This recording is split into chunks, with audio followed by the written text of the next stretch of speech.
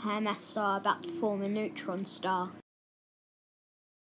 Neutron star gains a rocky planet. Rocky planet decays.